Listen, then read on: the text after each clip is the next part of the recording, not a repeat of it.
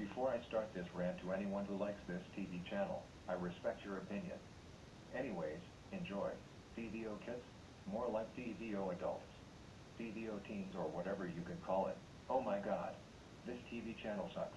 The only shows I like from this TV channel are Miffy and Friends, Number Blocks, and Arthur. If you hate any of these shows, I respect your opinion.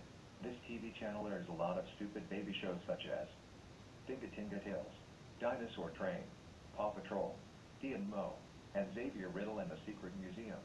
The worst show in this TV channel is Peep in the Big Wide World. Peep in the big wide world? More like Peep in the small narrow world. Oh my freaking god. This show sucks. If you like this show, opinion respected. I hope this TV channel gets shut down soon. Do you know who likes this TV channel? Babies and toddlers. They watch this TV channel 24-7. Do you know who hates this TV channel? Teenagers and adults. They're sick and tired of this.